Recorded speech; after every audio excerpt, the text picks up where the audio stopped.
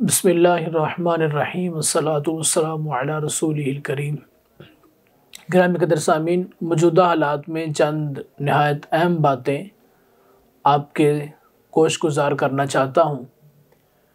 चंद दिन कबल सैयद हसीनुद्दीन शाह पिंडवी ने मशहूर नारा हर सहाबी नबी जन्नती जन्नती पर अपनी इजतराबी कैफियत का इजहार किया, जिसके बाद फिर उसके बेटे ने भी मज़ीद इसका दिफा करते हुए चंद बातें की।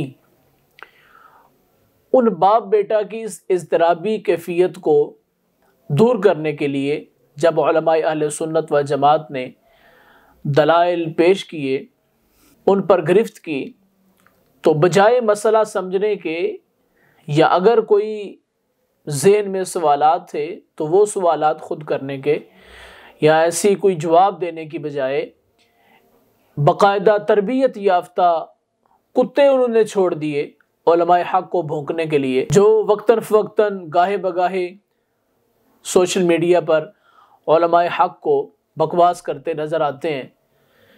मैं इस मौके पर यह कहना चाहूँगा कि इन भोंकने वाले कुत्तों को पीछे लगाकर आप ये मत समझे कि आप अपने अजाइम में कामयाब हो गए हैं। अहल सुन्नत को इस तरह डरा देंगे कि वो आपकी शरी गिरफ्त करना छोड़ दें।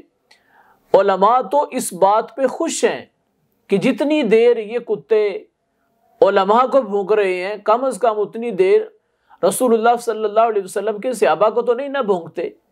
इस वास्ते किसी भी सच्चे आलिम को इस बात से परेशानी नहीं है कि उसकी ज़ात पर कोई बंदा अटैक कर रहा है। असल तो है कि उस सवालात का जवाब दिया जाए। जो एतराज़ात आप पर हुए हैं, उनका जवाब दिया जाए। लेकिन बजाय जवाब देने के ये ओछे हथकंडे इस्तेमाल किए जा रहे हैं, मैं इस मौका पर बड़ी अहम बात अपने सामीन की खिदमत में पेश करना चाहूँगा। गाजी रवा सदी हज़रत गाजी मलिक मुमताज़ हुसैन कादरी रहमत ताला आपको जब शहीद किया गया तो आपके जनाजे के लिए, मुल्क पाकिस्तान के तूल अरज से ओलमा और आवाम लियाकत बाग पिंडी में तशरीफ़ लाए। बंदा नचीज़, शेर आल सुन्नत, मुनाजर इस्लाम, मुफ्ती मोहम्मद आबिद जलाली साहिब रहमत आपके साथ वहाँ हाजिर था। तो हम सफ़ों में मौजूद थे जनाजे के लिए। आखिर में जब बिल्कुल ऐलान हुआ कि इस नमाज़ जनाजा की इमामत सैयद हसीनुद्दीन शाह पिंड भी करवाएँगे। कुर्बान जाएँ हज़रत शेर सुन्नत रहमत की इस्तकामत पर। आप सफ़ों से निकले। हमें फरमाने लगे, चलो, निकलो बाहर। यानी जनाजा छोड़ दिया। सफ से बाहर निकले, वापस को चल दिए। हालाँकि यहाँ से पिंडी का सफ़र और लियाकत बाग तक पहुँचना सिर्फ़ जनाजे के लिए ही था। लेकिन वहाँ से जब निकले तो किसी ने कहा कि आप गाजी साहब का जनाजा छोड़ रहे हैं। तो किबला उस्ताद साहब फरमाने लगे, गाजी साहब को सलूट करने के लिए ही तो लाहौर से पिंडी आए हैं, जनाजे में शमूलियत के लिए। लेकिन अब नमाज़ जनाजा की इमामत वो बंदा करवाने लगा है, जिसके पीछे मैं तो खड़ा नहीं हो सकता।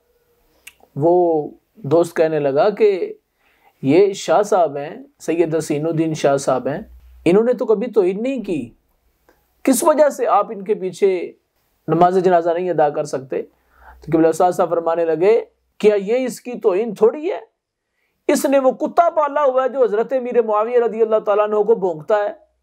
आप तमाम अहबाब बखूबी इस बात से आगाह हो चुके होंगे। वो कुत्ता कौन सा है जो सियाबी रसूल हज़रत मीर मुआविया रदी अल्लाह तला को बार बार भोंगता है? कुर्बान जाऊँ मैं हज़रत शेर सुन्नत रहमत की दूर अंदेशी पर के उस वक़्त गाजी रवा सदी शहीद नमूस रिसालत हज़रत मलिक मुमताज़ हुसैन कादरी रहमत आपके नमाज़ जनाजा की सफ़ों से वापस निकल आए कि जब हसीनुद्दीन शाह का पता चला कि उसने इमामत करवानी है, सिर्फ़ इस बात पर कि उसने रसूलुल्लाह के सहाबा की शान पर कंप्रोमाइज किया।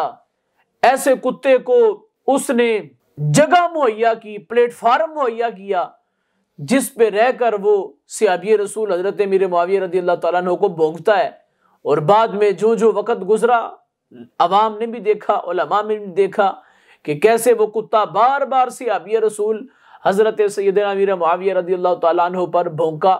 और अब तो बात बिल्कुल सामने है, एक कुत्ता नहीं, वो कई कुत्ते हैं जो उसी प्लेटफार्म से आगे आते हुए कोई शियों की मजलस में पहुँच जाता है, कोई ओलमा पर भोंकना शुरू कर देता है, कोई रसूलुल्लाह के सहाबा पर भोंकना शुरू कर देता है।